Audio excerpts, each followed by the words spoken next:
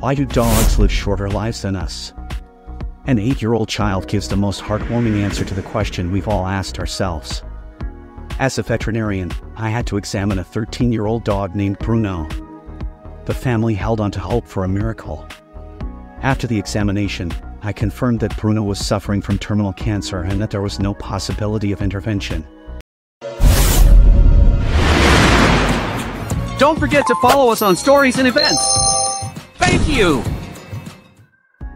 Bruno was surrounded by his family.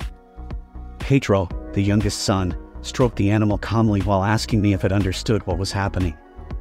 In a few minutes, Bruno fell into a deep sleep from which he would not awaken. Pedro seemed to accept the situation with remarkable maturity. At that moment, the boy's mother wondered why dogs' lives are so fleeting compared to humans. To which Pedro replied, I know why. His explanation deeply moved me and changed my perspective on life. Humans come into the world to learn how to live a good life, to love others, and to be good people. Dogs are born knowing how to do all that, so they don't need to live as long as we do, said Pedro. Pedro's words hold a profound life lesson. If a dog were our teacher, we would learn valuable lessons.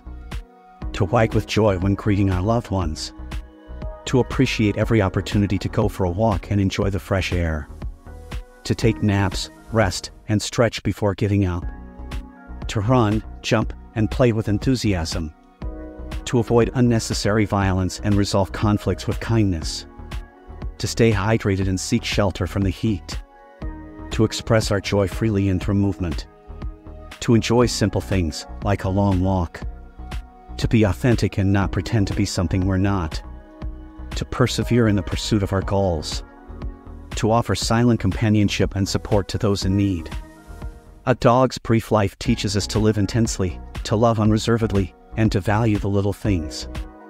Their unconditional loyalty and their ability to enjoy the present are an example for us all to follow. In memory of Bruno and all the dogs who have filled us with unconditional love.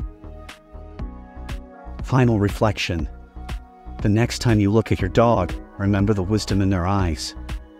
Learn from their unconditional love, their zest for life, and their ability to enjoy the present. Honor their short existence by appreciating every moment by their side and by adopting a pet responsibly. May their legacy inspire us to live with greater intensity, kindness, and joy